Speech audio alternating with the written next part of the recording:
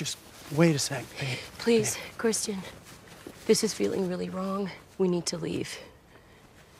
I know that this is weird, but it's because it's alien. No. We haven't been exposed to anything like no, this. Christian, no, please. This is completely backwards. We just need to leave. acclimate. I don't want to acclimate. I want to go. Well, I can't. I'm sorry. Period. I'm doing my thesis on this. What? Since when? Since I decided today. You know how much of a nightmare this has been for me to figure out. And I've made the mistake of telling Josh, and now he's competing with me. So if he wants it, let him have it. We need to leave. Can you not see what's going on here? This level of tradition?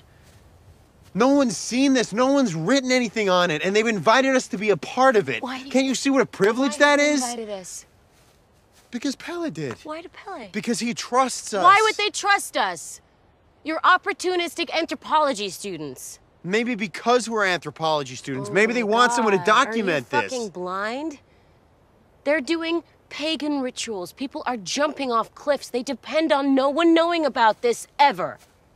Not necessarily. Okay, I want to leave. Okay, then you can leave. But I'm staying.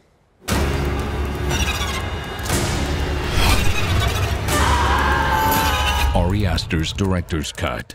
So